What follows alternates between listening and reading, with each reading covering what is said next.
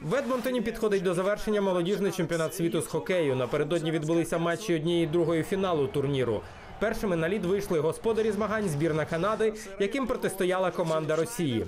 Утім, ніякої боротьби не вийшло. Перевага канадців протягом усього поєдинку була просто величезною. Що в першому періоді кленові листки перекидали суперника 16-7, а підсумковий розгромний результат 5-0 вивів канадців до фіналу.